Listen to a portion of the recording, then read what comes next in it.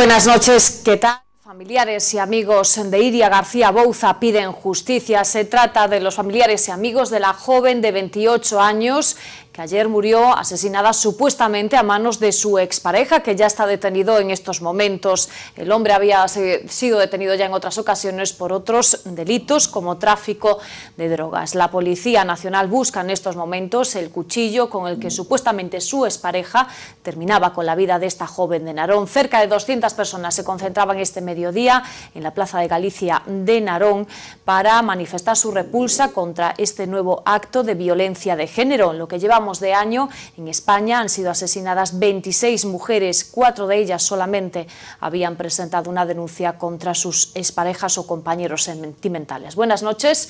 En esta jornada les hablaremos de este trágico suceso en el que el Concello de Narón se ha conmocionado junto con otros municipios de nuestra de nuestra comarca en una jornada en la que se ha decidido además decretar dos días de luto. Queremos que se haga justicia, o sea, porque es que avisaron un montón de veces, hay denuncias, hay todo, ¿y a qué esperan? ¿Qué más pruebas querían? ¿Esta? Hace una semana e pico, que yo lo sé, por los familiares, lo vino molestar a su casa, le llamaron a la, a la Guardia Civil, la Guardia Civil no hizo caso. ¿Dónde está la justicia? Son amigos de Iria García Bouza, la joven de 28 años de Narón que ayer al mediodía fue asesinada supuestamente por su expareja cuando acababa de aparcar el coche delante de su casa. Dicen que Óscar JF, detenido esta madrugada, la acosaba a pesar de haber finalizado la relación, incluso vivía en el punto cerca de su víctima. La joven, que estaba preparando posiciones para la Guardia Civil y trabajaba en una panadería, denunció en junio del 2011 a su expareja por presuntas amenazas y el pasado día 21 de junio solicitaba una orden de alejamiento que entraba en vigor un día después. Ella ya había puesto, pues,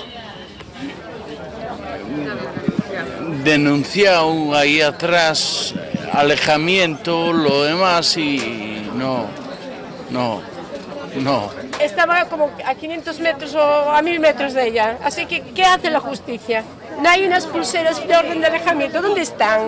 Los familiares, amigos y vecinos acompañaron a la corporación aronesa que guardaba cinco minutos de silencio para denunciar el primer caso de violencia machista en Arón desde la entrada en vigor de la ley de violencia de género. El subdelegado del Gobierno en A Coruña, Jorge Atán, confirmó que todas las pruebas iniciales apuntan a que Óscar JF asesinó supuestamente a su expareja y manifestó que no se tuvo un seguimiento continuo de la víctima porque no presentaba riesgo de atentado por parte de la expareja, al que le constan antecedentes penales por tráfico de drogas, según el Tribunal Superior de Justicia de Galicia. Lo que no se puede es eh, mantener un seguimiento continuo, salvo en, un riesgo extremo que no era, no el supuesto el supuesto de riesgo extremo está para, para otro tipo de supuestos, eh, sobre todo eh, en los casos en que hay agresión física y continuada. Los amigos que han difundido la imagen del presunto asesino a través de las redes sociales y también al público concentrado esta mañana solo piden justicia para Iria. Esto se pudo evitar. Se pudo evitar si la justicia tuviera, tuviera las medidas de tiempo. Él no está en esto solo, están muchas más cosas metidas y todo el mundo lo sabe. A sorte que tuvo rapaz foi co codeo a policía. Porque se o colla xente do povo Pues la expareja de Iria está detenido, fue detenido esta madrugada. En estos momentos está a la espera de que pase a disposición judicial del juzgado de instrucción número 2 de Ferrol. Los restos de Iria descansan en el tanatorio Artabria en estos momentos y mañana será enterrada a las 4 de la tarde en el cementerio parroquial de Santa María de Neda. El Concello de Narón celebraba esta mañana un pleno extraordinario para condenar este acto de violencia de género, el asesinato de una de sus vecinas. Esta joven ha sido la primera víctima de la violencia de género en el municipio tras la entrada en vigor de esta ley. La corporación en pleno condenó esta mañana el asesinato de su vecina de Iria García. En la declaración institucional aprobada manifestaron su enérgica repulsa por este asesinato, el primero que se comete en el municipio tras la entrada en vigor hace años de la Ley de Violencia de Género. Condenar o brutal asesinato da nosa veciña Iria García Bouza no día de onte e manifestar a máis enérxica repulsa deste consistorio ante esta morte e fronte á violencia de xénero. Los partidos políticos aprovecharon este pleno para pedir un aumento de las medidas de protección a las víctimas de violencia de género. Querría eh, arrancar de aquí o compromiso de que se adicara eh, un pouco máis de presuposto para a educación da igualdade porque francamente non estamos facendo moita cousa desde o Concello. Hai que tomar medidas, hai que condenar enérxicamente a violencia. Esta muller xa non ten, xa non ten futuro eh, o pésame para a familia e os amigos porque isto é un trago moi grande. El Concello de Narón ha decretado dos días de luto por el asesinato de esta joven que había colaborado con los servicios sociales. Pensamos que non hai que dar ningún paso atrás en tema de igualdade, en materia de igualdade, todos os esforzos son poucos e facer un chamamento á sociedade en xeral de concienciación de que non podemos ser cómplices da violencia machista. No puede seguir esto, basta ya. Basta ya de la violencia de género. Eh, es tremendo una chica de 28 años que acabe de esta manera porque una persona se crea a Dios para quitarle la vida. Está previsto que el detenido Óscar JF pase a disposición judicial del juzgado de instrucción número 2 de Ferrol, tras inhibirse el juzgado número 3 que estaba de guardia al día de los hechos.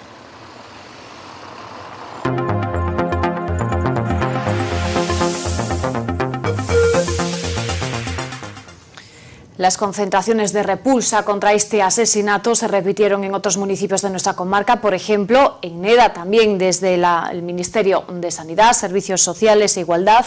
La ministra Namato ha condenado este asesinato recordando que en lo que llevamos de año han sido ya 26 mujeres las asesinadas a manos de sus exparejas o parejas y que tan solo cuatro de ellas habían presentado una denuncia contra sus parejas. En Ferrol también desde la Concejalía de Igualdad, esta mañana su responsable Verónica Casal trasladaba el pésame a la familia en el ámbito municipal en Ferrol. A través de este departamento, a través de la Concejalía de Igualdad, han confirmado que llevarán a cabo durante este verano toda una serie de mejoras en la casa de acogida municipal, donde reciben tratamiento psicológico y jurídico las mujeres víctimas de la violencia de género.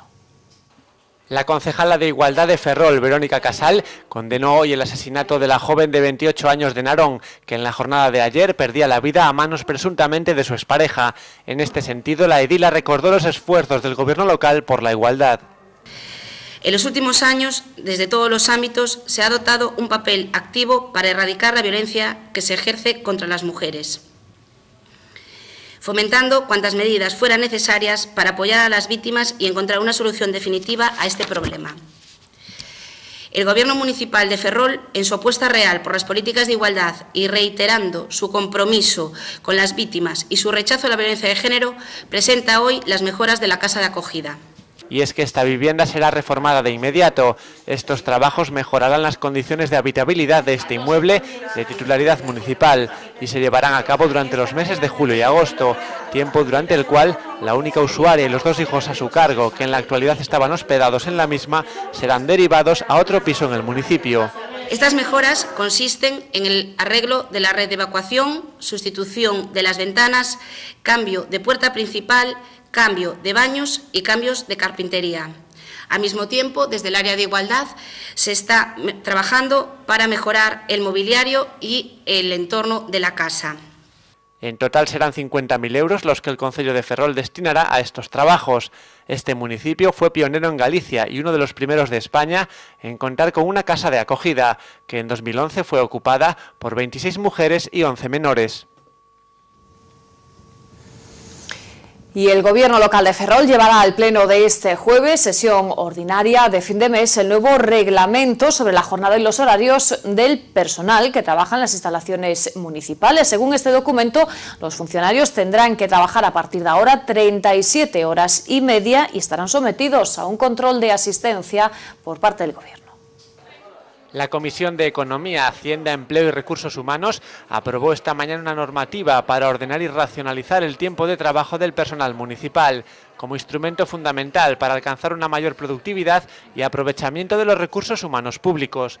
Con este documento, que irá a pleno el jueves para su aprobación inicial, el Gobierno local deja reguladas las condiciones de trabajo del personal de la Administración ferrolana desde el año 2013 en adelante. Establece el horario básico en 37 horas y media semanales, en promedio semanal.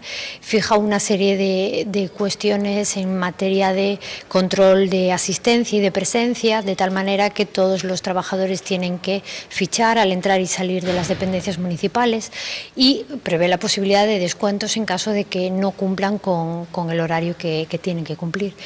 Y bueno, se establece una reducción de jornada de verano a compensar. La nueva normativa se cumplirá con carácter general en las mañanas de lunes a viernes entre las ocho y media y las dos y media. El tiempo de trabajo restante, 7 horas y 30 minutos, hasta completar la jornada semanal, se realizará en horario flexible, atendiendo a razones de servicio, entre las siete y media de la mañana y las 4 de la tarde. Además, durante el periodo comprendido entre el 15 de junio y el 15 de septiembre, ambos incluidos, se podrá establecer una reducción de media hora diaria a descontar de la jornada flexible de lunes a viernes. Las ausencias e impuntualidades serán castigadas con una reducción proporcional del salario.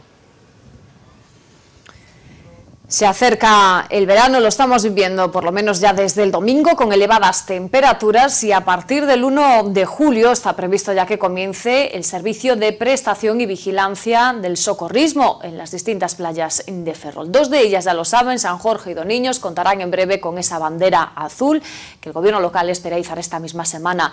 Los voluntarios de protección civil ya están preparados también para prestar este servicio en ocho arenales de Ferrol. Hasta ocho playas de Ferrol serán las que deba atender la agrupación de voluntarios de protección civil del municipio, al frente de la que se encuentra Emilio Sande, quien reconoce que en poco tiempo se ha logrado reunir a 35 personas que velarán por la seguridad en los arenales. Seleccionar a la gente para formar parte de las plantillas socorristas de cada playa, cuya selección la hemos hecho por la semana pasada, este viernes pasado, con una prueba teórica primero y después con unas pruebas prácticas. Gente joven, gente ágil, eh, con titulación sobre todo, eso sí que es una cosa que se pide, eh, no puede ser de otra manera. Y las pruebas que se le exigieron han sido unas pruebas físicas. Socorrer a personas con peligro de ahogarse en la playa es el caso más complicado al que los voluntarios deben enfrentarse, pero también están capacitados para atender otro tipo de incidentes, como picaduras de insectos, caídas o algún golpe de calor producido por las elevadas temperaturas. Hasta infartados o hasta una angina de pecho. con lo cual ya tenemos que tener asistencias un poco más pues, importantes. Prevemos tener algún DESA en, en la playa también y algún material de oxígeno para poder tratar estas incidencias también. Para mejorar la atención y la seguridad desde la agrupación de voluntarios, se realizará cada día un simulacro que estará supervisado por un coordinador de playas, que vigilará el correcto desarrollo de las operaciones.